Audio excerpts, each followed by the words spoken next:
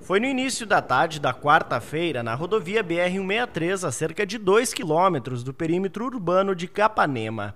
O acidente envolveu esse caminhão boiadeiro com placas de Capitão Leônidas Marques e essa carreta emplacada no Paraguai.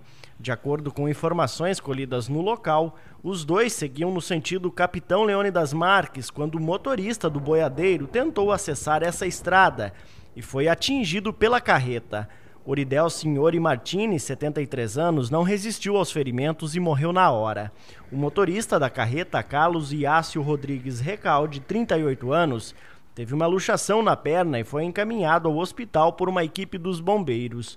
O corpo de Oridel foi encaminhado ao Instituto Médico Legal de Francisco Beltrão.